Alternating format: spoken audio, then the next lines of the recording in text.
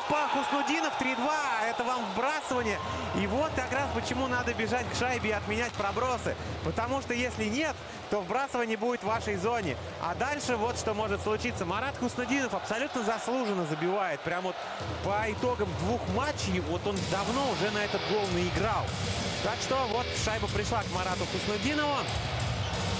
Кстати, опять вбрасывание. А, Каменев, Кимпайнин в ассистентах. А, Не скажу, что Каменев прям это вбрасывание выиграл. Скорее, Кимпайнин а, пришел там с левого фланга и сделал передачу на Хуснудинова. Уже три очка у Марата.